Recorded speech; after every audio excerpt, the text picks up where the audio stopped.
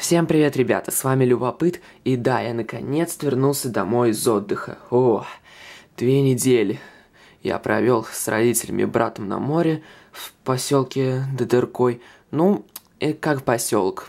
Не знаю, даже сложно его назвать поселком, потому что там кругом сплошные отели, кафе и магазины. И все это на берегу моря. Ну, и еще мы там на электричке ездили в Лазаревское прогуляться там тоже. Тоже, тоже такой вот уже городишко, а не поселок. Большой достаточно. А теперь я наконец-то вернулся. Да, и за время моего отсутствия тут много всего произошло. И по большей части, наверное, плохого. А из хорошего, наверное, то, что у нас на канале 14 тысяч подписчиков уже, то очень хорошо. И, наверное, единственное хорошее, что вообще произошло в мое отсутствие. Теперь, что же произошло плохого? Начнем, пожалуй, с того, что на видео в Львумба Ритп стали комментарии писать. Мол, типа, Львумба это и так Ритп, зачем делать Ритп на Ритп, это Ритп из Ритп и так далее. Ох, я даже тогда делал отдельное видео, просто так там не говорил ничего, а писал. Типа, льв... объяснял, что Львумба это не ритм. Так что еще раз уж скажу, это не ритм. Львумба это была анимация ютубера Дов, которую он там в своей программе сделал. Не знаю, как она у него там называется, по-моему, Blender. Это просто, я уже сказал, 3D анимация, сделанная в программе Blender – Ровно как и, например, Герат делает свои 2D анимации в какой-то там программе. Не знаю, какая у него программа.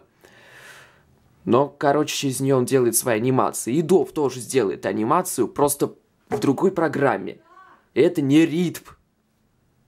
Но у людей, видимо, не хватает мозгов, чтобы это понять. Дальше. Опять э, видео Львумба Ритм. Но другое. Представляете, какой-то чмырь вздумал меня плагиатить. Он просто скачал мое видео Львумбаритм, обрезал дисклеймер и заставку, чтоб не спалиться, и на свой канал загрузил. Да, я сижу, блин, в ус не дую, и тут мне в ВК приходит сообщение от подписчика, мол, тебя копируют. Я перехожу по ссылке и обалдеваю. Реально копируют. Ну, я, разумеется, ему тут же подал страйк, видео заблокировали. Ёшни. Но он, видимо, ни хрена не понял. И опять загрузил ролик. Я подумал, ну ладно, кинул ему второй страйк. Думал, теперь он наконец-то успокоится, поймет. Ага, сейчас, хрена с два. Третий раз загрузил. Прикиньте. Ой, дебил. Ну, короче, и третье видео точно так же скоропостижно удалилось.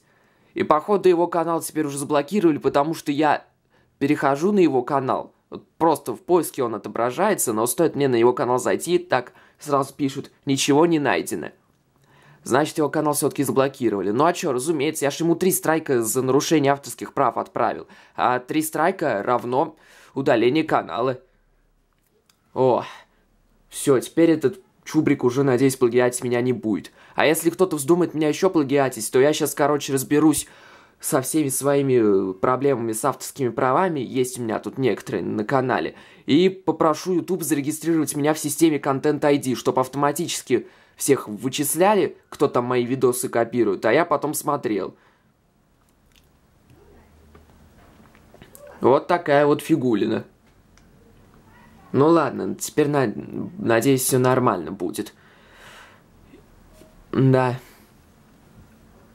Я, кстати, пока тут э, в отсутствии, в отъезде был, у меня очень много идей появилось э, о том, какие новые видео делать.